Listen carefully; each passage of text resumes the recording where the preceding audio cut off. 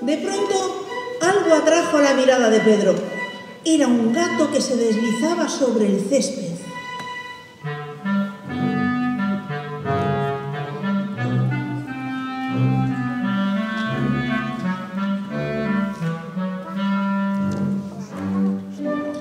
El gato pensaba para sus adentros, el pájaro está ocupado discutiendo con el pato, voy a ver si lo atrapo.